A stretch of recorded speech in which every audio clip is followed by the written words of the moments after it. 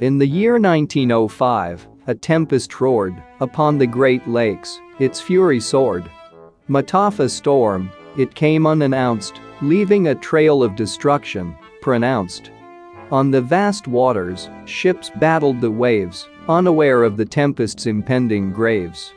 The storm's wrath unleashed with an eerie might, engulfing vessels in its dark, relentless night. The skies turned black, the winds howled loud as waves crashed against the ships, unbowed.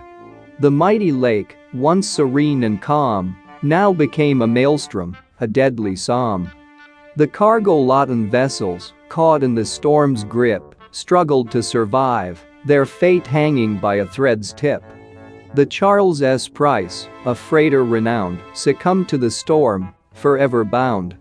Steamer Mataafa fought valiantly, against tumultuous waves of deadly reality. But the storm's power, it could not defy, and the ship too, met a tragic goodbye. Sailors battled the elements, their courage unwavering, in the face of nature's fury, their spirits unflinching. But the storm, unrelenting, would not be tamed, taking lives, leaving loved ones maimed.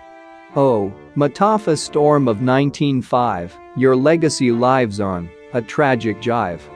Great lakes weep for the lives you claimed, their waters forever marked, forever maimed.